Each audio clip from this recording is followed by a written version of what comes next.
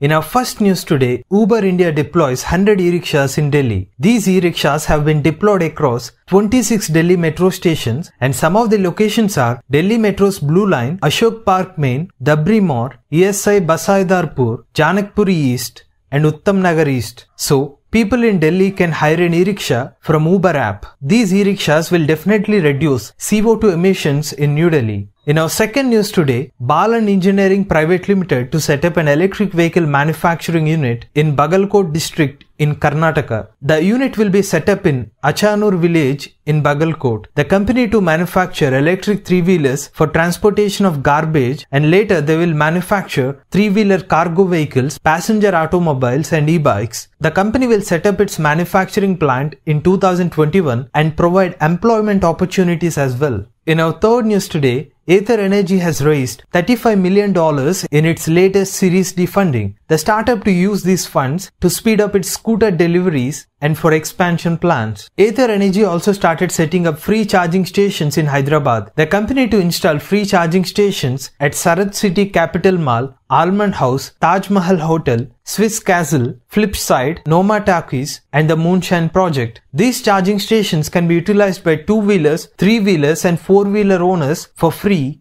till the end of 2020. In our fourth news today, Three-wheeler manufacturer Omega Seiki Mobility Private Limited started dealerships for its product Rage Plus in Kukatpalli Y Junction, Hyderabad. The Rage Plus is a cargo three-wheeler, has a load capacity of 550 kilograms and can run with a top speed of 60 kph, works with a 6 kilowatt motor. On a full charge, it can give 100 kilometers of range. In our fifth news today, Mumbai based Alpha Vector launches its first electric cycle, Meraki, in the market. The e bicycle works with a 250 watt IP65 protected BLDC motor and can run with a top speed of 25 kph. The 6.36 amp hour lithium ion battery can provide 35 kilometers of range. The company offers one year warranty on the battery pack. In our sixth news today, Andhra Pradesh government decided to set up 400 charging stations across the state. These charging stations will be set up at the national highways. One charging station will be set up for every 25 kilometers of radius. In our seventh news today, the Kerala State Road Transport Corporation KSRTC has invited bids for hiring 50 electric buses on wet lease for the Thiruvananthapuram zone. KSRTC to procure these electric buses under the FAME 2 scheme Go Green, Go Electric.